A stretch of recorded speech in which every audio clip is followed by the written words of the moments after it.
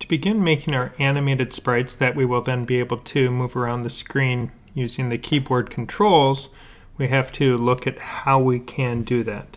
And one of the tools that we're going to be using is Piskel, which is a free app. It has both an online version, so you can do it directly in your browser, or you can download it to your computer and work on it locally. Now, we're going to look at downloading an existing uh, sprite sheet, but also how to use Piskel and create your own sprites from scratch. Some good resources for finding open source game art that you can use would be a website like Kenney. There's lots of assets here. So when we go into the assets, we can go and choose what kind of assets we want, 2D or 3D assets, characters, etc. So if you want to download everything in one fell swoop, then you support it, either purchase it or become a um, donator on Patreon to uh, help it out. Open Game Art is another great resource where you can find sprites. So for today's demonstration, I am going to be using the skeleton sprite sheet and we will be able to break it into individual pieces like that. So when we download it, it looks like this. So then we can find that I get the sprite sheet that has the different images, the different views that we need all in one single graphic. And for the code that we're going to be working with, we want to separate those into individual image files so that when we're done, we have all of the individual image files, all 12 frames. So we have three images for each direction that the skeleton is walking.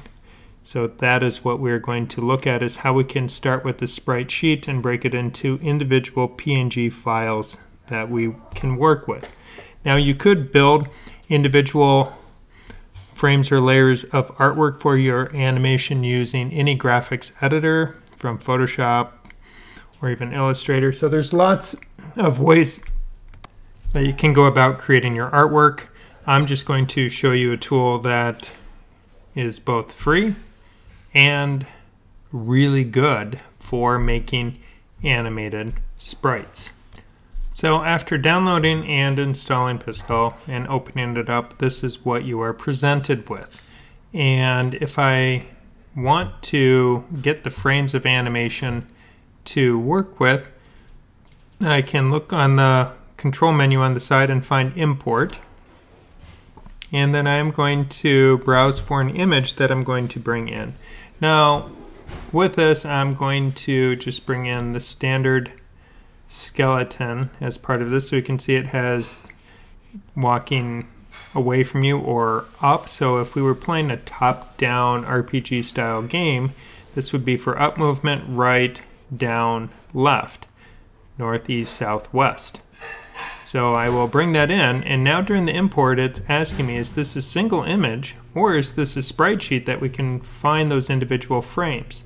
And I'm going to say we can find those individual frames, and if I go back, I will see it's 48 by 64 for the size of the frame. So if I type in 48, we'll see how it divides it. And then I can type in 64 and we can see how it perfectly is going to understand those frames. Now when I click import, it'll say, yeah, I'm replacing it. Well, there's nothing there, so we're good. Okay, and now we can see right here, it's walking and we can see the individual frames of the animation that we have. So we, if we wanted to modify this, add to it, or do anything else, we certainly could. So if I go on to this frame here, if I were to say, I'm just going to choose a red color and decide that this skeleton in this view here is going to have red and those I can choose a different brush size. So I can choose a 2x2 brush to make it quicker to fill. And I just go through each one of those frames and now we'll see he has a red eye when he's in that direction and we'll add well, mist red and red move to the next frame now I can cycle through my frames and when I'm using the 2x2 brush the gray overlay is really hard to see when I'm doing it on what is essentially a grayscale image. But I can use the arrow keys to navigate through my frames very quickly.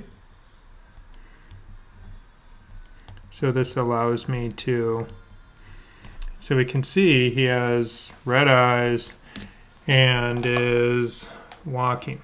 So this is going to give us animation. Now one thing we're going to find is when we bring this into code and speed this up, it is going to become, you know, so when it's running at high speed, we can see that, you know, he's, he's really motoring there.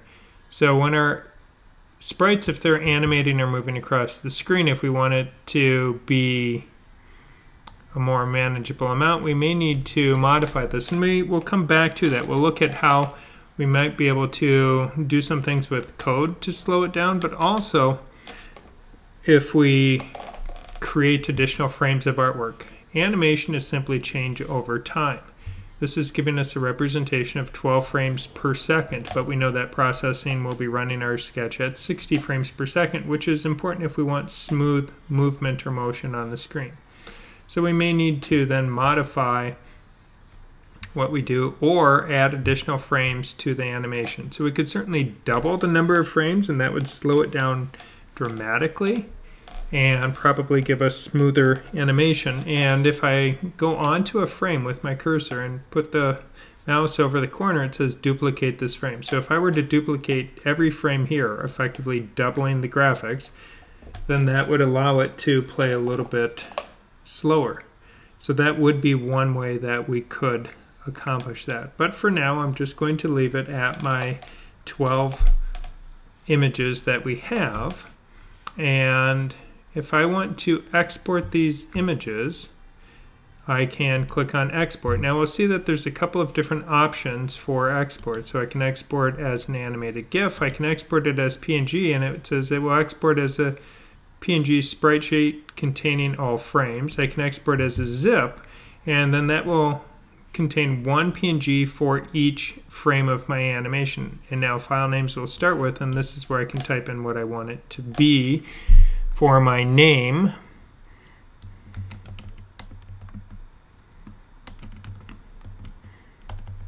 And I'm just going to call mine skeleton red eye.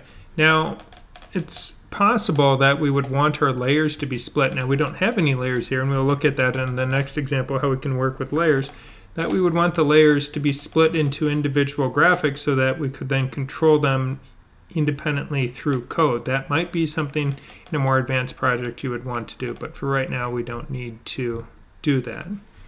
Now click download zip and I can decide where it's going to save. So I've made a folder called Sprite Demo. I'm going to put it into that folder and I can leave this name as is. Now inside this demo we will save it here. Eventually we'll put it into our assets folder once we have our code sketch available and ready to work. So hit save, it exports it out. And navigating to that folder, I can double click on it, it expands it, and let's see what we got. So now we have each one of our frames of the animation as a separate PNG file ready to animate with our programming code. Now if you're going to begin your sprite directly in Piskel, there's any number of ways you can do it. I like to take advantage of the fact that I can use layers to both speed up and simplify my animation process. So starting out, I'm going to work on my beginning base color that I want to use.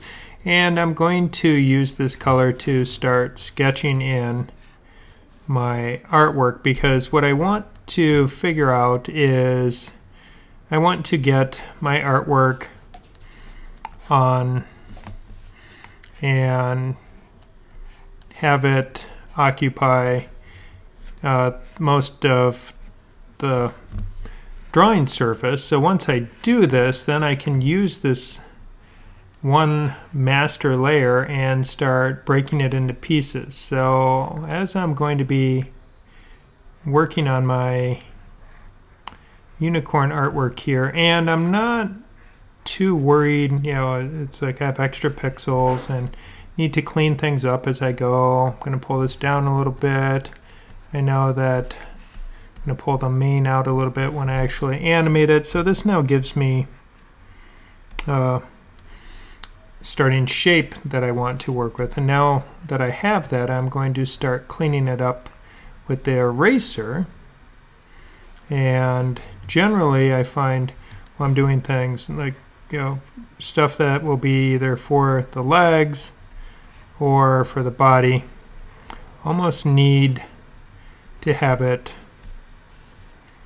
three pixels wide because when it's set at 3 pixels wide I can hollow out the inside. Now trim off the front, I don't want that there. And now creating pixel art is, is really that. It's an art. It's something that some people are really gifted and skilled at creating and some of us are not as good at it. So we may not be as happy with the end results that we get. But a lot of it is through trial and error and practice as you start to figure out how you want to create your artwork for your project. Now if you use keyboard shortcuts, so I'm using P for the pen tool and using E for the eraser, then that allows me to clean up my drawing. And we're getting pretty close here for how it's going to be. Now, coloring in for my unicorn horn. Looks like we'll have to do some adjustments on that as well as we figure out exactly what that color is going to look like. But I, I think right now, oh, I thought I was back to the eraser. I'm pretty happy with this as starting shape. Now I need to clean up on the leg and the rear end here a little bit. As I'm trying to imagine when I start filling it with color, how is that going to look? And one thing that I do want to do and what I found is makes things easier is if I plan out and create all the outline so I've sketched it in loosely I'm still on one layer. Now I can use my paint bucket tool in a moment here so I'm going to find a new color that I want to work with.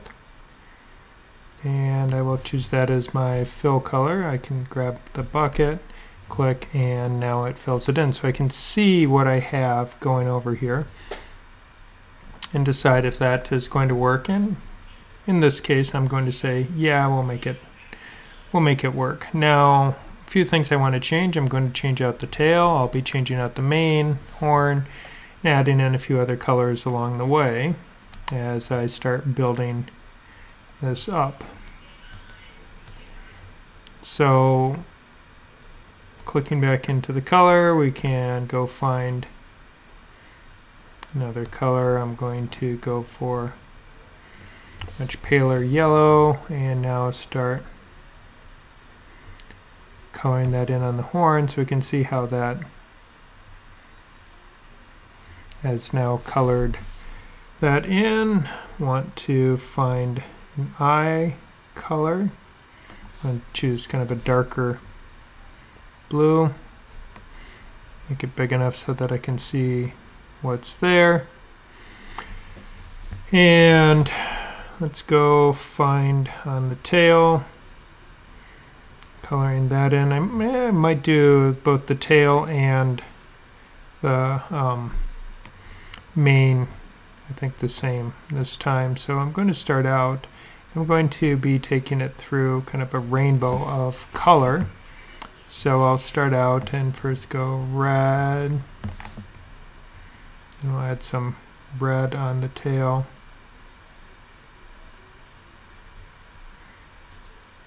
And then move in, grab orange.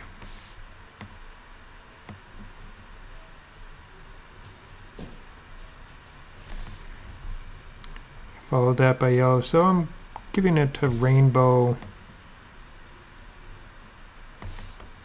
look. Oh, I forgot forgot to put some orange over here. The tail is going to be smaller, so we might we're not going to be able to fit all the colors as cleanly on the tail.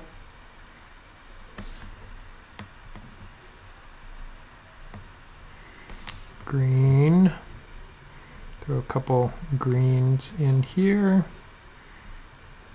Now, if I want to go back and get a color, I can grab that orange, go back and grab my pen tool to color in some of the orange for the tail. So we're kind of starting to match that.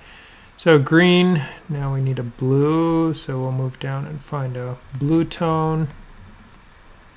Blue. And throw a couple blues down here.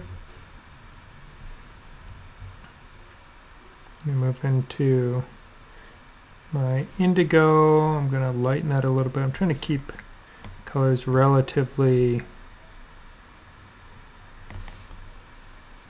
much. Can throw that blue there, we'll throw that there, and now go into a violet.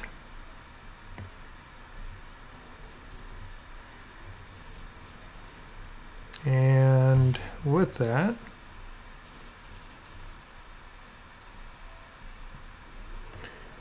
think we have a good start to our critter here. So I have, yeah, I'm not liking that color that much. We might have to modify that. Choose something a little stronger, darker. Let's try that. Yeah, it's going to be better. I'll just let a few lighter so it's almost like highlights hitting it.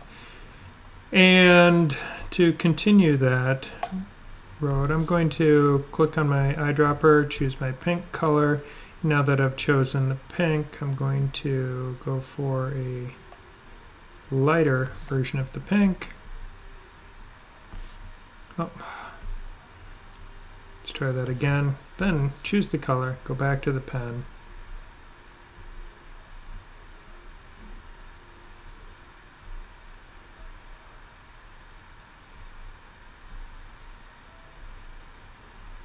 They're adding just a little bit of highlight.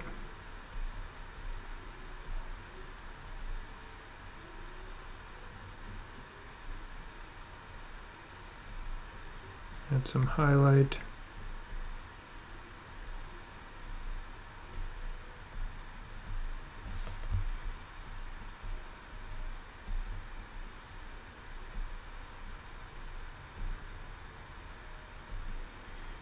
So we're starting to just add a little bit of sculpting in on our character. Now, I'm not going to worry too much about making it darker because those are the areas where we'll be doing our cuts for animating. So I have the tail, the head, the legs, the body, and we're set.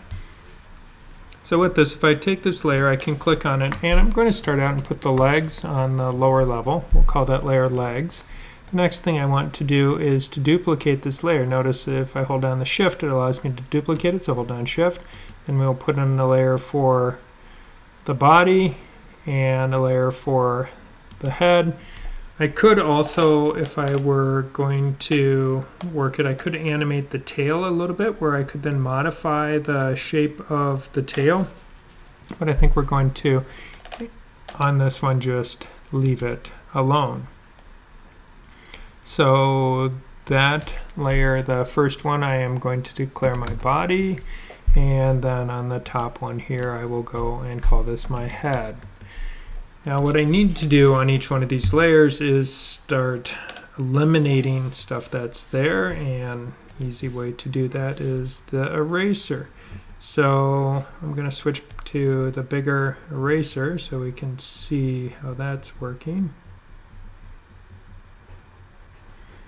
So, well, I didn't want to erase any of the mane.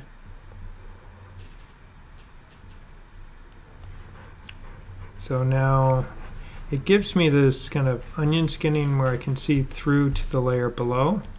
Now if I go to the body layer, body layer will get rid of where the head was. And on the body layer, we're also going to get rid of the legs. Because we'll be animating the legs from the leg layer. And now I go to the leg layer.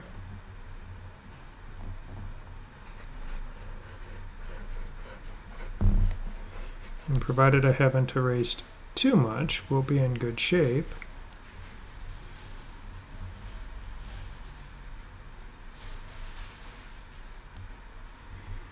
Now, thing is when we start moving layers around, we will be able to draw onto their pixels as we work with it. So I can see that the whole of it looks pretty good. So we're in good shape. And what I want to do now is I'm going to take this layer and I'm going to duplicate this frame. Now we don't see any change yet because, well, it looks the same. But if on this layer, so right here, what we can do is use the hand tool. Now the hand tool, if I read what it says, it says apply to all layers, apply to all frames, wrap canvas around borders. Those are things I don't really want because I want to be moving these individual layers here.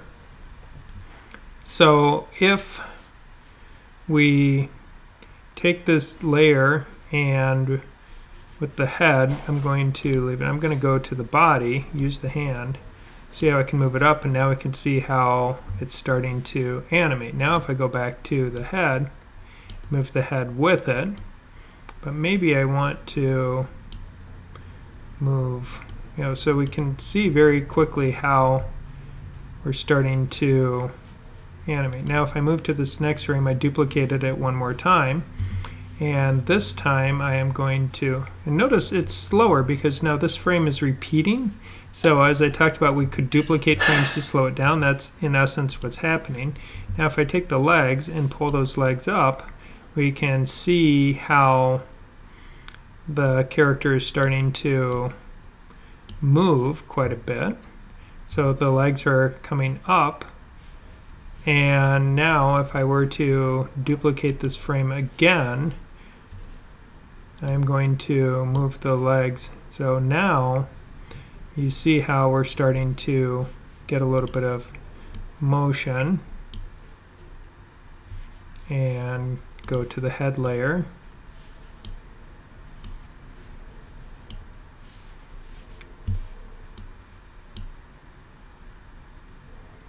And or do I want it down here? Yeah, I think I like that better. Let's go. So we're down. So frame one is down, frame two we're up, frame three the legs come up and forward. I want to go back to the leg layer and I'm going to pull them so we get a lot more kind of movement happening with those legs. Now I could put each leg on its own layer so then they would be moving as well, but I think this is going to give me what I need for the first four frames. So now I have my sprite animating across four frames. And what I can do is I can then duplicate these and I'm looking at the neck. Let's see which frame is that at. Right here, I think on this layer, I want to um, pull the neck out. I feel like it's pinching a little bit, so let's, oh, grab the purple, grab the pen, let's pull that out, grab some of the pink, grab the pen,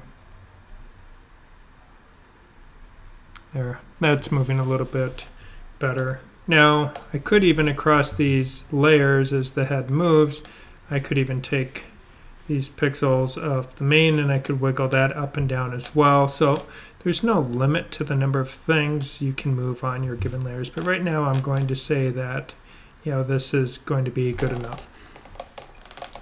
So working with this, what we may find is it's easier to do the left and right in one file and then we could create a version of going up and down in a separate file so that we're not dealing with as many kind of layers as part of it. So that that's a possibility. We can also take and merge all these layers down now that we do have kind of the core of what's happening. That would be another solution. So there's there's never going to be a single way to do things, but there's different methods or strategies of how you may wish to proceed with it when you do something. So I've decided what I'm going to do is merge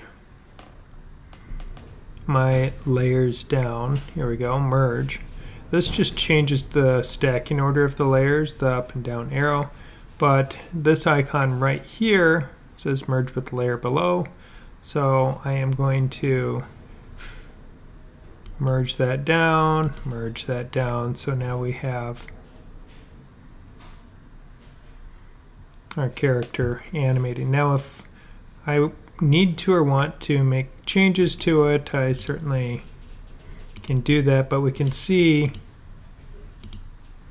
how the character is moving right now to duplicate this, I need to do this one frame at a time. So when I duplicate a frame, that frame appears right after it. So now I'll pull that down to the end. Then I go to frame 2, duplicate that, pull that to the end, and then go to frame 3, duplicate that, pull that now down to the end, and take frame 4 and I'm going to duplicate that and pull that down to the end. Now what we can do with these frames, so we know 1, 2, 3, 4 is my facing right. If I take frame 5, if I look here, I have an option to flip it.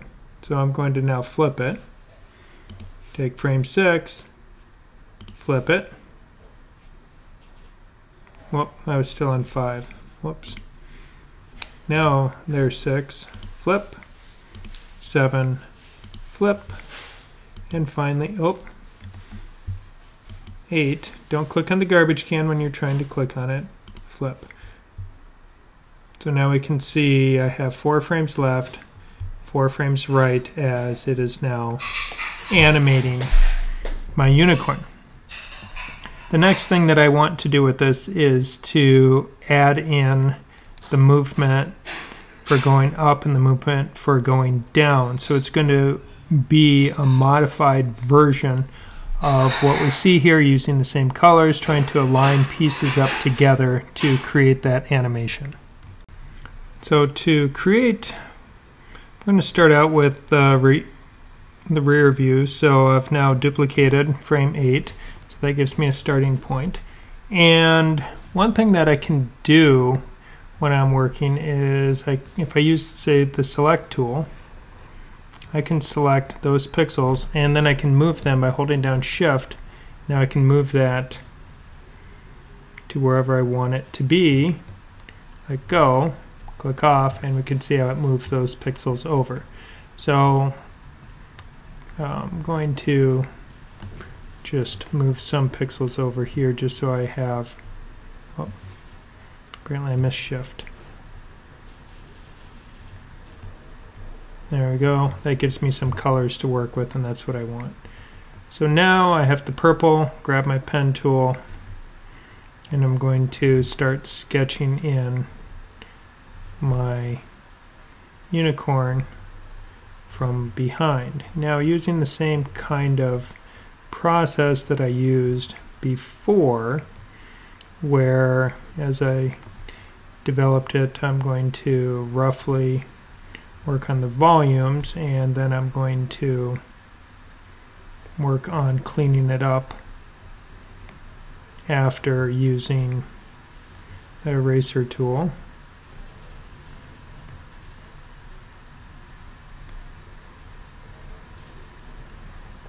So we can decide how we need everything to look on this rear view. Now we can start getting rid of some, oh, go to a bigger eraser, that speeds it up, get rid of some of the things I know I don't need. I'll go back and add in some of the things I do.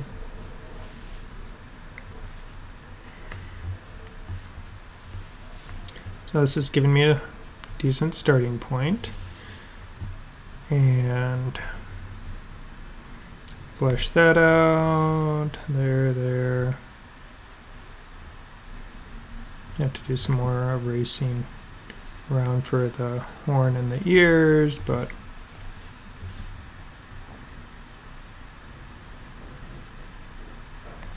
that gives me a decent starting shape. Be adding in more colors fixing the mane and the tail, but I now need to add in more into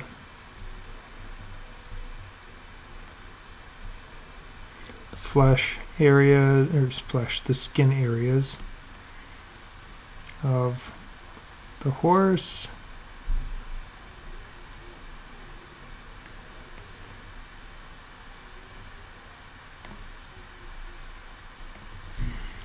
So I'm trying to figure out exactly what I want where.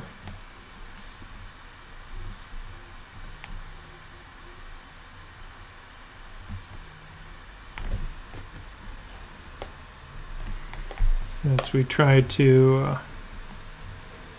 build up the artwork. Now, in pixel art, um, oh, I don't really I was thinking I had the eraser there for a moment. Let's try again. We'll grab this. So in pixel art, we don't always, it's not always the most realistic looking. And it's really just a matter of figuring out what you want it to look like and how. So we can keep now sampling some of the colors.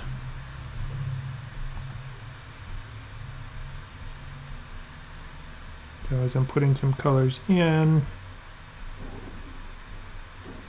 then I'm going to kind of keep sampling those.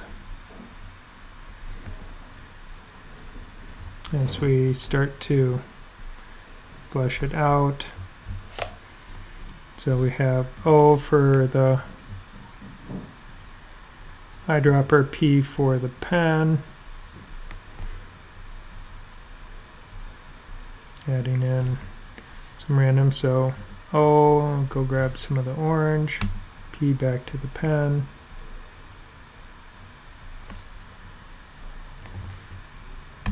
O for the red, P for the pen. Bring some of the orange and yellow up into that. So it's starting to take shape as I work with this. Let's of that purple right there, and the blue.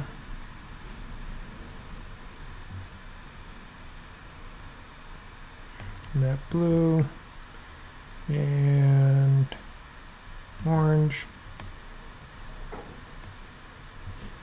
yellow,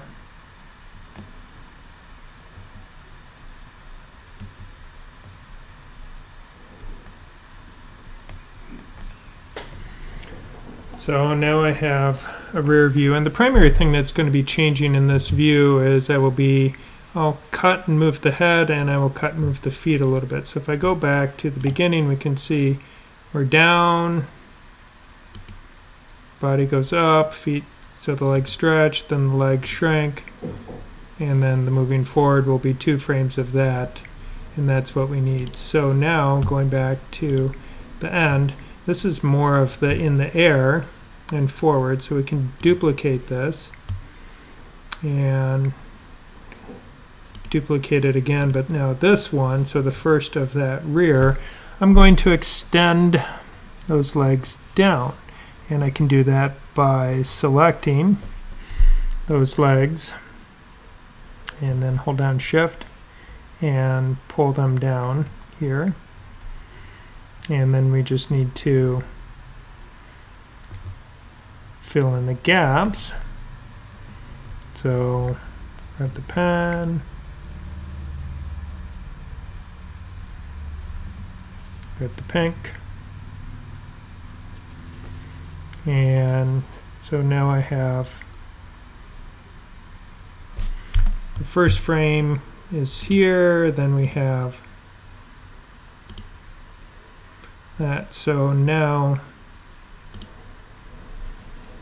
and with this we're going to pull actually I can just use the hand for this. Pull down. So we're down up and then I'm, on this one I'm going to leave it there, duplicate it one more time, and then pull the legs. I'm just going to pull the legs forward on it, so I will cut the legs right here, shift, pull them up one. So we can see how that shift is happening. Down, up, and on this one, let's see, so we're down, up. I'm going to pull the whole head down, so for this one I'll make a selection.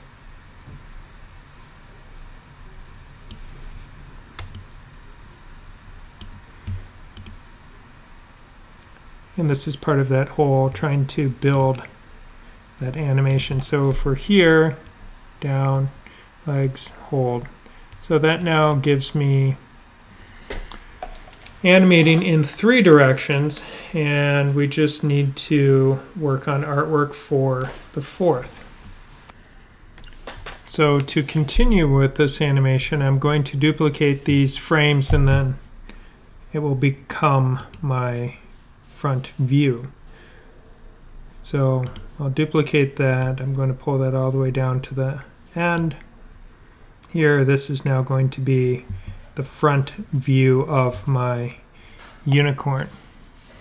So the nice part about that is I have my pink selected, grab my paintbrush, I can quickly block in a lot. And I'm just going to pretend, oh, I've got a few empty frames I see there we'll need to fill up. So we'll color those in in a little bit. So O gives me my selector, P, shrink the brush down, gives me my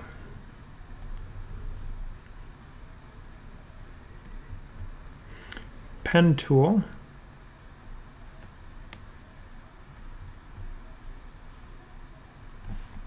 And let's go here. O pen back to frame there.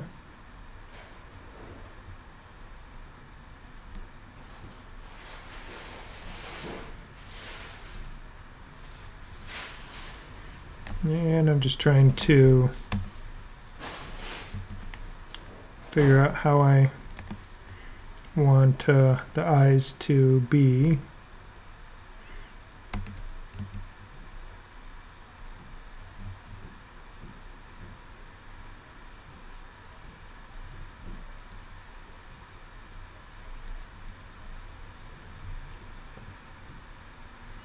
So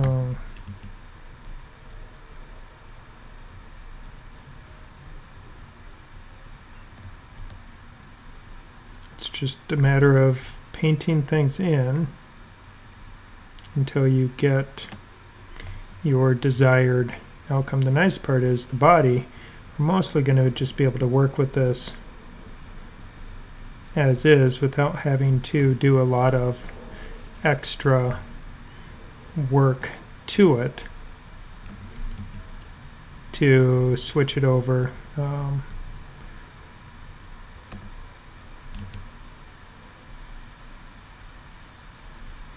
so now I'm just trying to figure out oh, didn't want that purple there. We'll let the eye be big. Like that. And purple on the outside, outside. And a little bit more pink. So you know, I apologize if uh, the drawing part seems like, you know, it's a bit tedious to watch. Um, at times it's a little bit tedious to do, so it doesn't always make for the most um, exciting part in the tutorial, but hopefully we can use this as a nice learning experience. I'm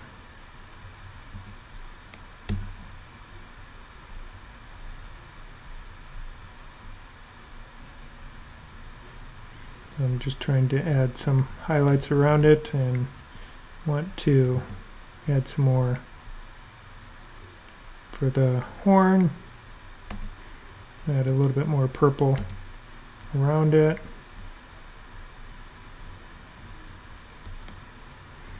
And I'm just going to use my other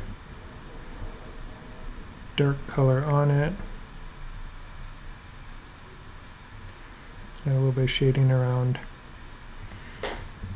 so unicorn's not quite as uh,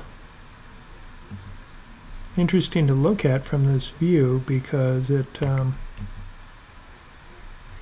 doesn't have as much color going on, but I might add in then a little bit more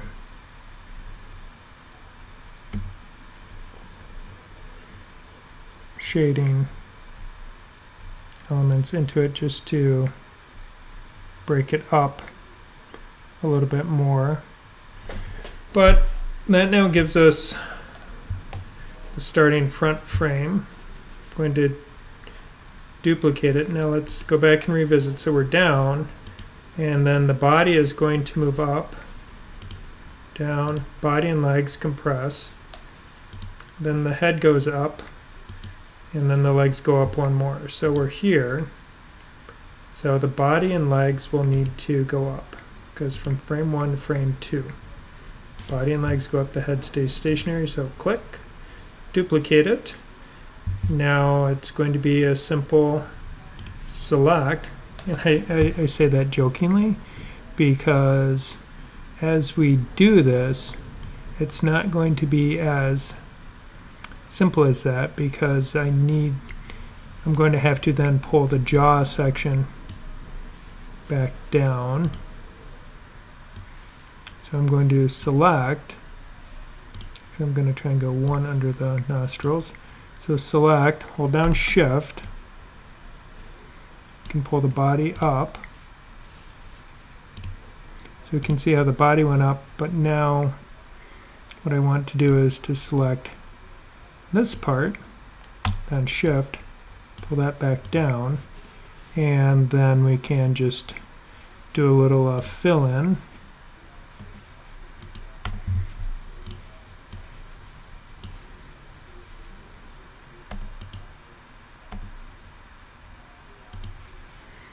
All right, so we're here. Get the body going up there. Duplicate the frame. And now on this one, go back to our select. Grab that. And we're going to shift drag it up one more. Let's see, it was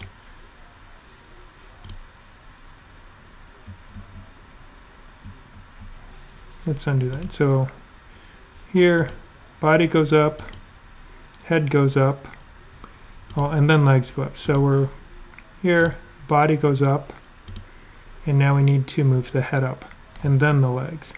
So trying to be consistent with the animation. Sure there's no point in selecting all that body, we'll just grab the head here, shift, head goes up, and we can just fill in some gap.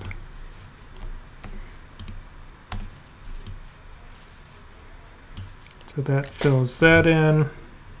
And then our final fourth frame, frame number 16.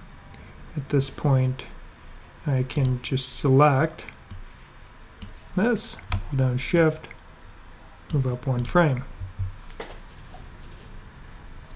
So now we have our unicorn and it's moving in all four directions. So once we have achieved this, then what we need to do with this is we need to get it out of here. And I also am noticing I have not saved this yet, so it wouldn't be a bad idea to save this. If I save it as a Piskel file, it will keep my layers, it will keep all of my frames and artwork. So I can uh, save that. It's going to prompt me where do I want to save it. I'm just going to put it into the project folder that we're going to be working on right now. And now when I export it, I want to do it as a zip. And I'll just call it unicorn, download. Uh, I'm going to cancel that for a moment. If I notice here, it's going at uh, 1x 32. 32 is the default size I have for my project, but I can just scale each one of these pixels up by going 2x and make it 64 like that and then I will have better sized artwork. So now I can click here and export that as a zip file. So now that I have completed that, I can leave Piskel and go and look at my file that I have and go find this unicorn and inside the unicorn I will find that I have each one of my frames as an individual PNG file so that I'm going to be ready to bring these into processing so I can use them for my animation.